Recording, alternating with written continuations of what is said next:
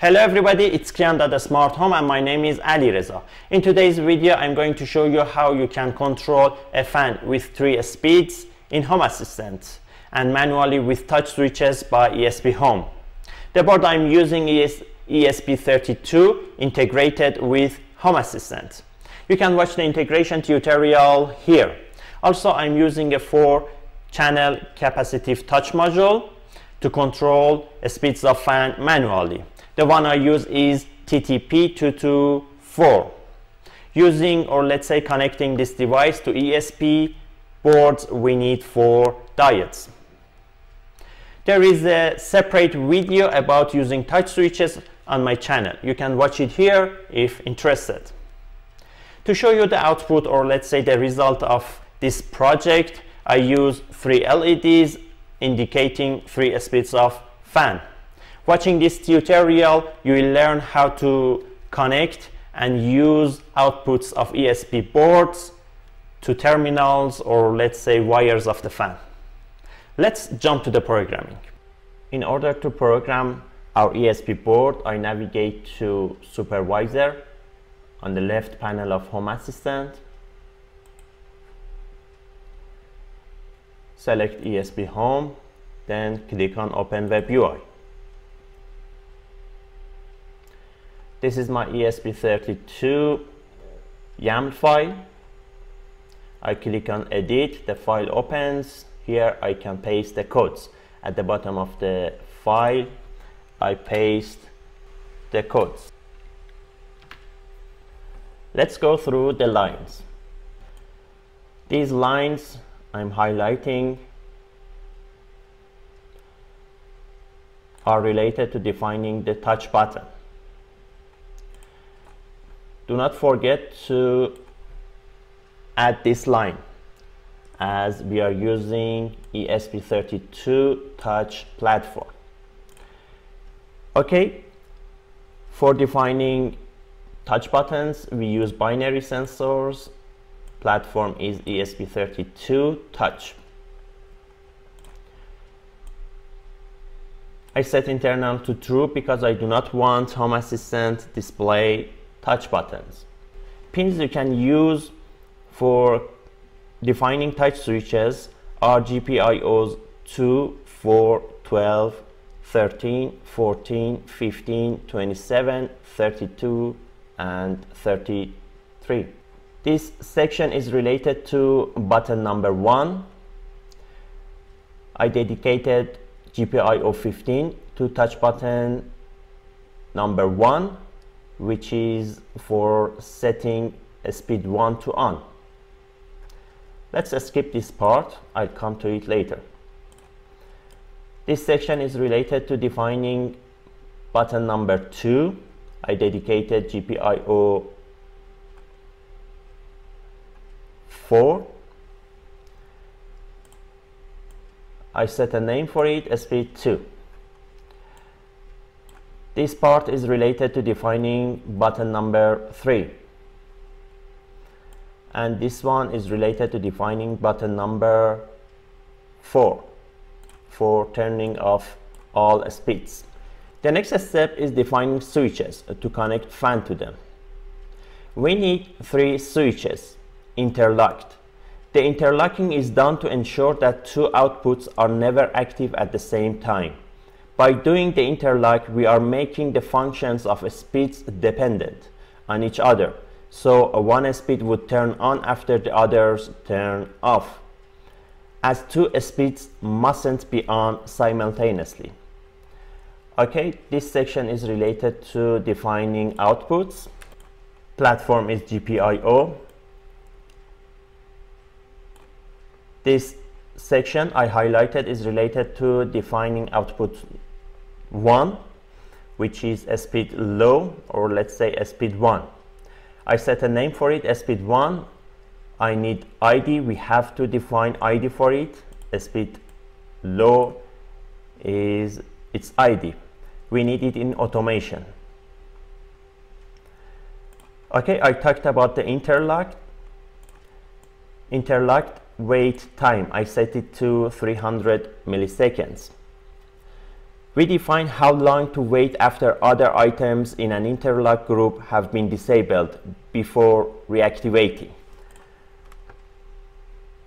This section is related to defining output for SP2 and this part is related to defining output 3 for SP3 or let's say high speed. That's it. Let's talk about the automations.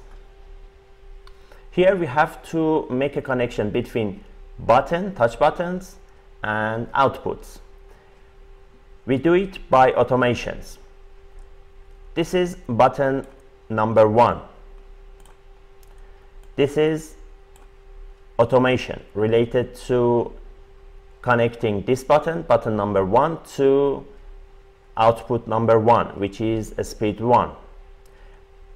On press means if the button is touched. Then what happens? Turn on a speed low. This is the idea of a speed 1.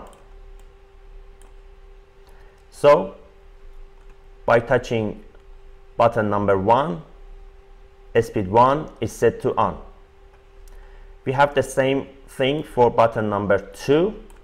By touching it, speed 2 is set to on. For button number 3, by touching it, speed 3 is set to on. But the last one, button number 4, which is for setting speeds to off. By touching it, all speeds are set to off. Okay, programming is done. Let's install the edited file on the ESP board. I click on install, select wirelessly. Wait till installation completes.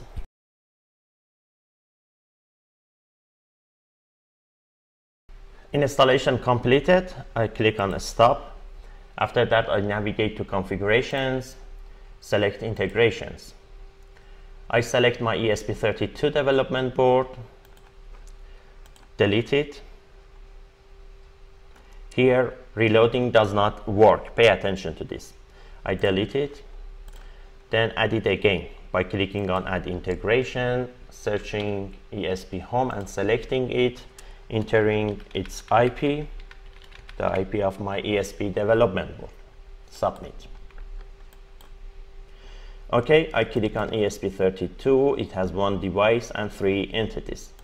I select it. This is my ESP32 controlling a fan with three speeds. Let's go to the board. This is my four channel capacitive touch button module. In order to use it, we have to power it on by connecting 3.3 volt to VCC pin and connecting ground of the ESP development board to ground of this module. The rest of pins output 1, 2, 3, 4 are related to touch button 1, 2, 3, 4. I dedicated GPIO 15 to touch button 1. I connect this GPIO 15 to output 1. In the middle I use a diode. I dedicated GPIO 16 to output 1 which is related to speed 1 and connected this LED to it. When speed is set to on the output voltage is high so I connected anode of the LED to GPIO 16 and cathode is connected to ground. I do the same for GPIO 17 and 5 for SP2 and SP3. Now let's test the device. I touch button number 1. Speed 1 is set to on touch button number 2 speed 1 set to off then speed 2 set to on touch I touch button number 3 SP2 was set to off, SP3 set to on. By touching button number 4, our speeds are off.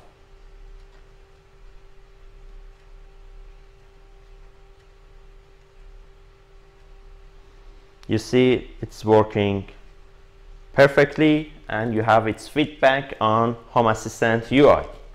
Using Home Assistant UI, you can control the speeds.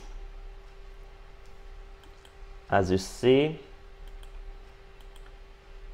by turning on each speed, other speeds are set to off before the speed being turned on.